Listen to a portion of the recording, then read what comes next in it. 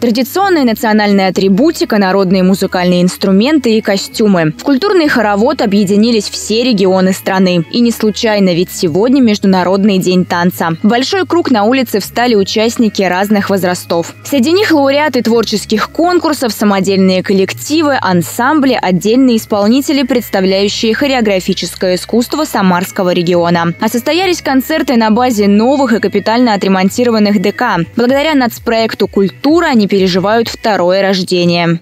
Он, естественно, функционировал, но сейчас мы видим эту красавицу, жемчужину культуры с обновленным зрительным залом на 273 места, а, с, со студиями танцевальными, творческими. А, в этом году а, на территории Волжского района планируется еще ряд мероприятий. Ой, вы знаете, все поменялось вообще колоссально. Начиная вообще, когда мы заходим в наш холл, очень приятно заходить, все очень уютно сделано, все комфортабельно. Детям приятно заниматься. Для нас, для хореографов, самое главное – это зеркала и полы. Полы сделаны с качественным линолеумом, в Волжском районе помимо реставрации Дома культуры завезли передвижной автоклуб. На территории губернии таких всего 11. Они могут трансформироваться и в сцену, и в кинотеатр, и в библиотеку. Для этого у них есть все необходимое оборудование.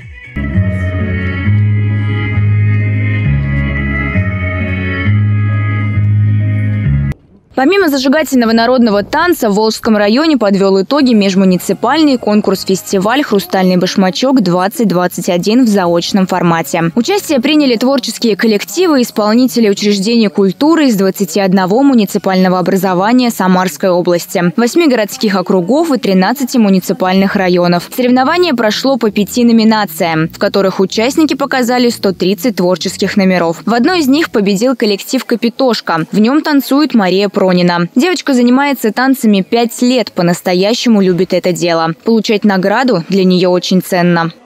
Танцевать, выступать очень нравится. Я, ну, дома еще занимаюсь танцем, придумаю свои танцы. Приятная победа, очень э, понравилось, что мы победили в конкурсе. Еще очень трудно было, все не улыбались, а в этот раз мы все улыбались. Конкурс прошел при поддержке Министерства культуры Самарской области в рамках реализации на территории губернии общественного творческого проекта «Культурное сердце России» по направлению «Культура рядом».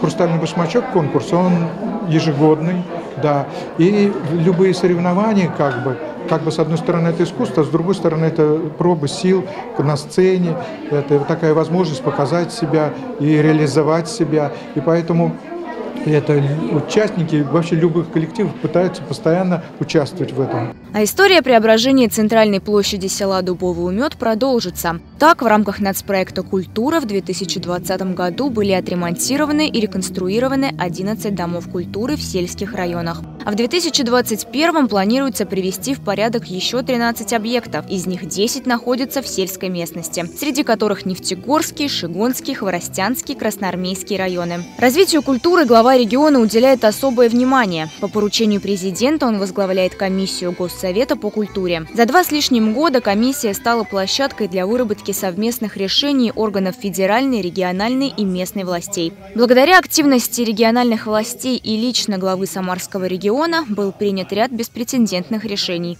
благодаря которым регион сможет побороться за звание культурной столицы Поволжья. Елизавета Должикова, Константин Макаревич. Новости губернии.